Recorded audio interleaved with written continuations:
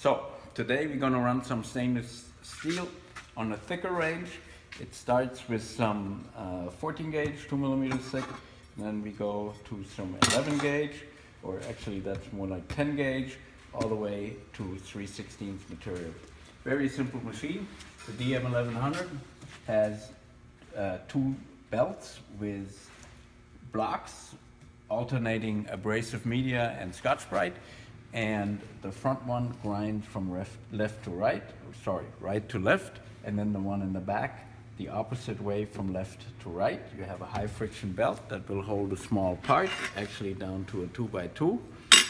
And um, as the parts pass through, media wears evenly because it goes perpendicular to the feed direction of the part.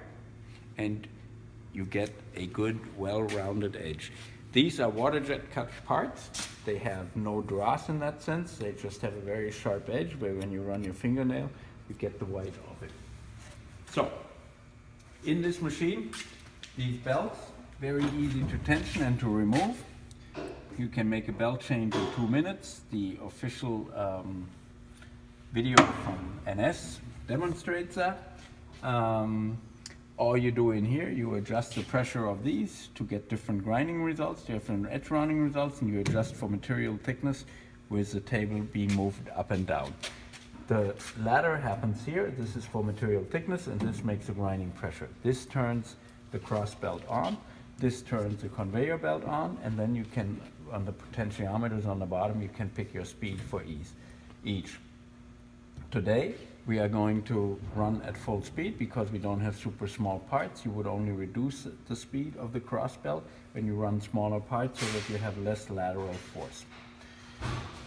Um, stainless steel, you would process between two and four feet per minute. We're gonna start at three feet per minute and see what we are getting.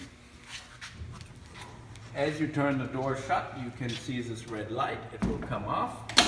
This is whenever you uh, have a safety condition, the red light will come on.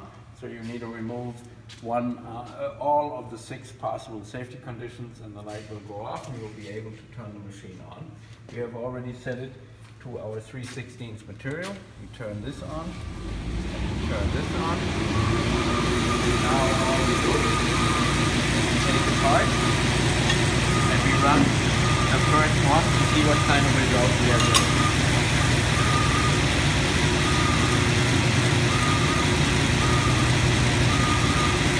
Not hearing a lot of sound right now, so I think it could be that we are a little bit too light.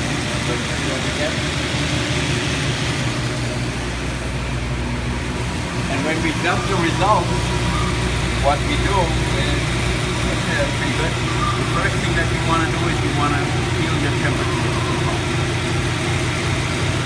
Here you see the white line around it, that is your radius, and you also have a white line, a little bit less, around your smaller contour on the inside. So this is already pretty good and like I say we have temperature in the part. It is about body temperature, maybe a little bit below it, so that is a very good temperature.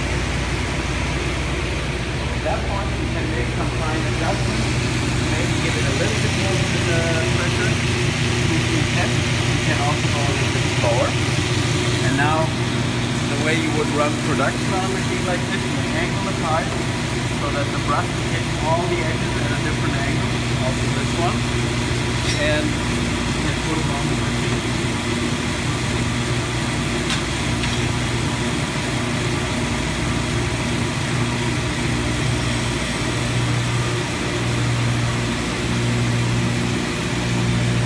And you can fill the table completely.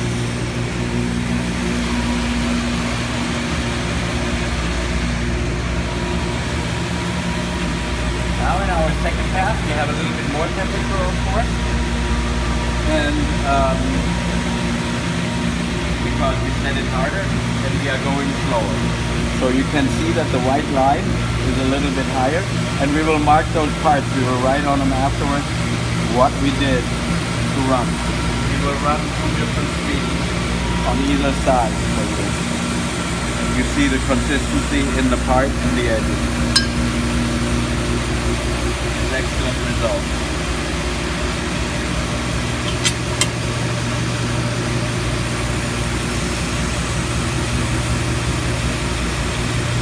Production, you would put a table behind the machine either with a tool to drop onto or simply with roller to catch the part because then one operator can keep this machine filled by about 80%. Larry is making a little bit of noise in the background.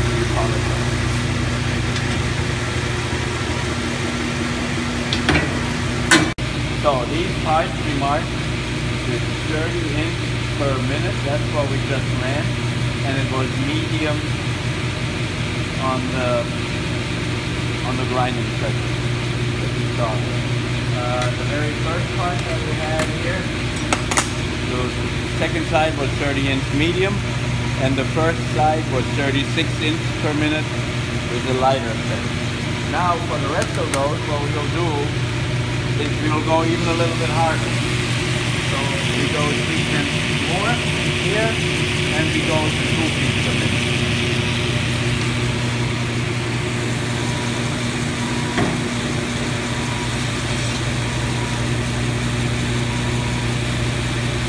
As you can see those differences. And you mark this per minute.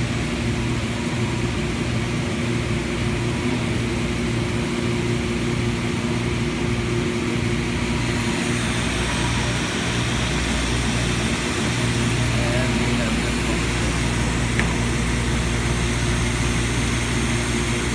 So.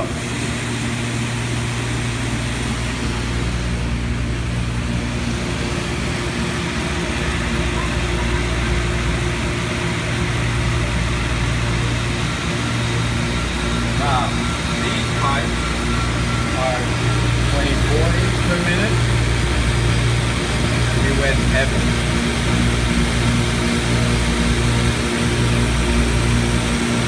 They are very warm now.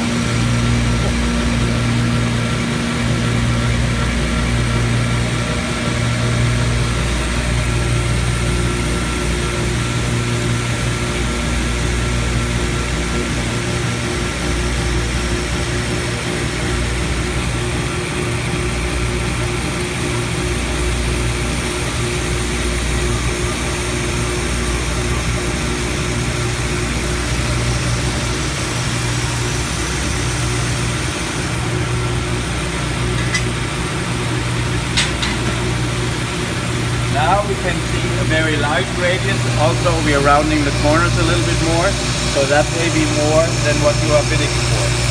That is totally up to you. All we want to do is demonstrate the different capabilities of the machine. As these are water jet parts, like I say, the edge quality is already very good. You don't have any dross to contend with. And um, so therefore you get a little bit more radius. Now, the change over to a different gauge very simple. Let's say we go to the 14 gauge at this point per millimeter. All we need to do is we're gonna we're gonna go back to our medium setting. And regardless of the material thickness and then all we do is we crank this to the new material. And now from the sound you can hear that we are already in the conveyor belt so I'm gonna back it up a little bit more so that I'm lighting it heavy would be about an eighth of an inch below the surface. Light would be about 80 thousandths below the surface. And at the same time, we are going to slow. And I want to give you another demonstration. This machine, it's not so super critical how you set your material thickness because it's a brushing process. So you could run, for example, materials of different thicknesses, even though that's not necessarily recommended because you're going to get different results. Now from the sound you hear of course that the 10 gauge is going to be hit a lot harder than the 20 gauge because it sticks um, about 40,000 further up into the brush. You're still running at 24 inches per minute. So this is, and the temperature is lower again because we, we lowered the pressure. 24 inches per minute. And light. What this? And this is 24 inch per minute. But it's medium because again it's a higher part.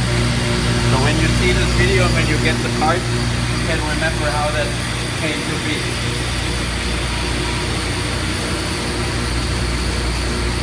So again, the demonstration was that it's not super critical as to how you set the machine to your thickness as long as the pressure valve is lifted part. But you could run parts of two different thicknesses if you wanted it to. It is not super critical. The critical thing is simply to hold the part. And then the rest of the adjustments you make with your brush. This last one is a 10 gauge that we will run at the appropriate height. Actually what I will do with this is I will also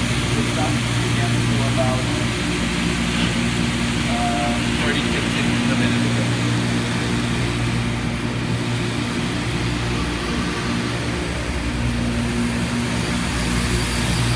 So, in the beginning it was 24 inches per minute,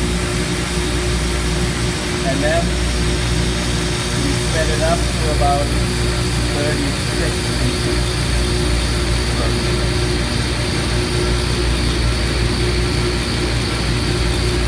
And you can feel the temperature difference here from the 24 to the 36 per minute. Cooler here than it is here.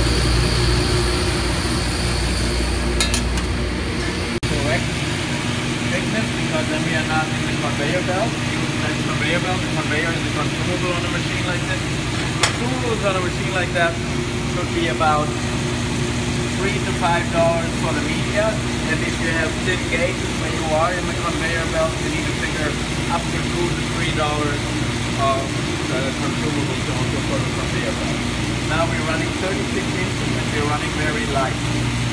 On the reverse side, we're going to be running a little bit heavier. And again, uh, we're going to go down to maybe 30 inches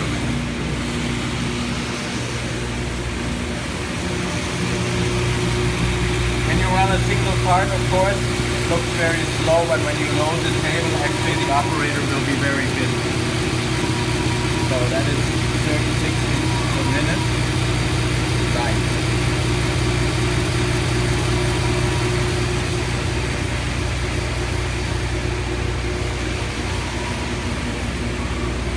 And here, so the measurement gets go medium and you go 24 per minute.